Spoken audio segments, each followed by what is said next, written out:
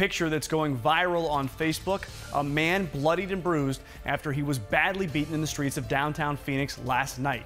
He says his attackers shouted slurs at him and specifically targeted him because he is gay. Now, police are investigating this brutal attack as a possible hate crime. Team 12's Elisa Nicita reports.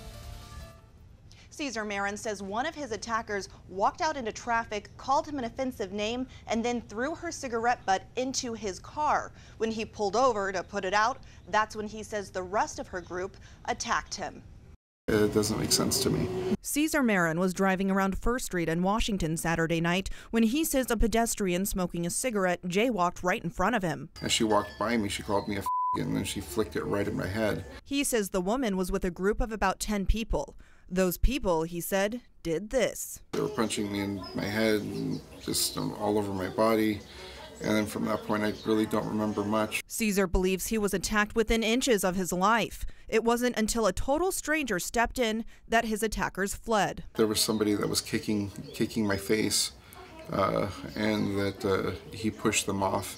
Now, Cesar is searching for that man. He deserves the world. So he can thank him. This Good Samaritan, he's, he's the one who saved my life.